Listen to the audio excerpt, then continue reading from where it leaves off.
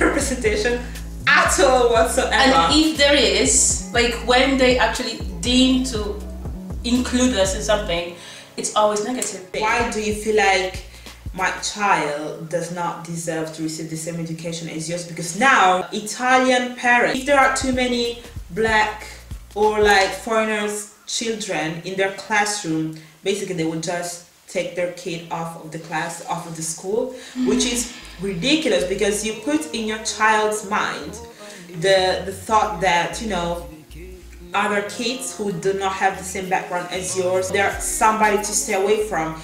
Totally, basically racism.